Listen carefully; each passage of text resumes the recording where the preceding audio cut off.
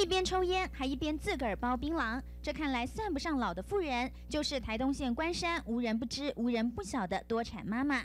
现年六十一岁的潘秀桃，从十五岁开始就以几乎一年一个的速度生下了二十四个娃娃。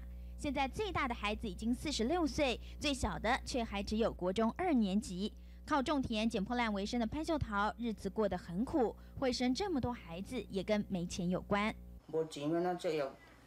较早有钱做爱钱啊，这方面。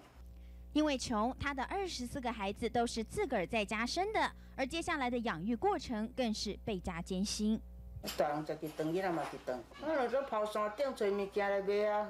指着儿子结婚时的庞大全家福照片，潘秀桃说：“这还只来了一部分呢。”而刚好带着小朋友回来看妈妈的亲女儿潘春菊也说：“一到清明过年，家里的人是塞都塞不下，全部都满满的，还要轮流睡觉。”辛辛苦苦的把孩子拉拔长大，潘秀桃却不要求任何回报。直到现在，她还是自己赚钱，自己过日子。不过，由于平常全家能相聚的机会实在太少了，她只希望透过这次惊世世界纪录的母亲节活动，散在各地的子女能够全部回家，享受大团圆的天伦之乐。